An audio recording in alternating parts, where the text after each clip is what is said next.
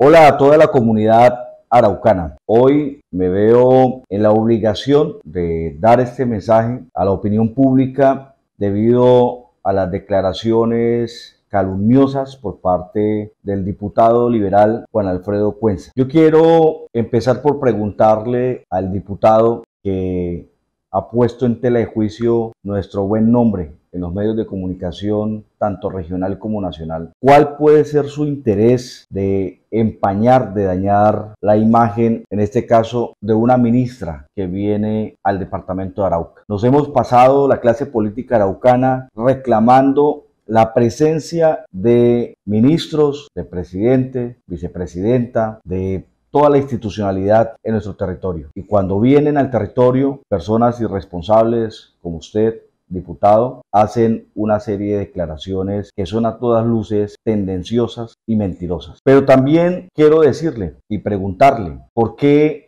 oponerse de manera obtusa a una reforma a la salud que viene a ayudarnos a darle solución a grandes problemas en esa materia en nuestro país. Por mencionarle solamente tres o cuatro cosas. Una reforma que está planteando atención primaria en salud, que es una gran apuesta por la promoción y la prevención de todos los colombianos, que es mucho más económica y más humana que el modelo actual que tenemos. ¿Por qué oponerse a una política pública para el talento humano en salud, cuando todos nuestros trabajadores de la salud están con un sistema de contratación como es las OPS y unas condiciones bastante paupérrimas. ¿Por qué oponerse a una política pública para insumos e y medicamentos? ¿Por qué oponerse a unas políticas públicas en ciencia, tecnología e innovación en salud, que es una de las cosas que más necesitamos para avanzar en cualquier área del conocimiento? ¿Por qué oponerse a unas políticas públicas en medicamentos, e insumos y tecnologías? ¿Por qué oponerse a una política pública en talento humano en salud para mejorar las condiciones de nuestros trabajadores en los hospitales? Diputado, es evidente que usted no ha leído la reforma, no se ha tomado la molestia de hacerlo, pues tuvo la oportunidad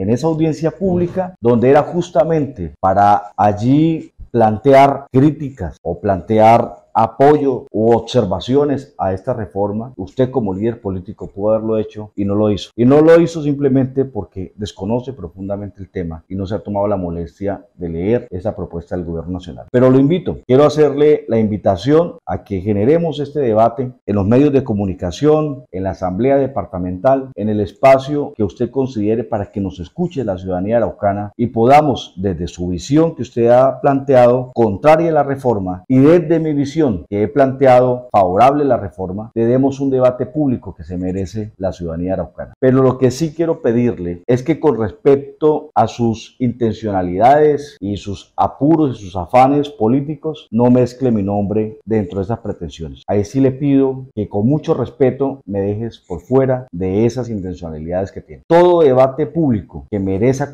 merezca conocer la ciudadanía araucana, bienvenido. Por eso hoy le dejo planteado a través de este comunicado público que en cualquier momento, cuando usted lo considere, cuando usted haya estudiado esa reforma, nos sentemos y demos el debate para también ayudar a aclararle dudas a nuestra comunidad. Y por último, no creo, diputado Juan Cuenza, que el simple hecho de no ir a visitar el hospital en ese momento sea la causa de toda esta fanfarria, de todo este show mediático que usted ha generado. Yo creo que hay otras intencionalidades, porque la verdadera razón para cambiar las condiciones de nuestro Hospital San Vicente y de muchos hospitales del departamento es haciendo los proyectos y haciendo la gestión para poder transformar físicamente esas instituciones. Y esta reforma para poder transformar la funcionalidad de todo el sistema. Así que lo dejo con la invitación abierta para que generemos el espacio adecuado de debate, pero para que sobre todo cosas, que nos respetemos y que los, el buen nombre que merecemos todos los ciudadanos sea tenido en consideración y en respeto.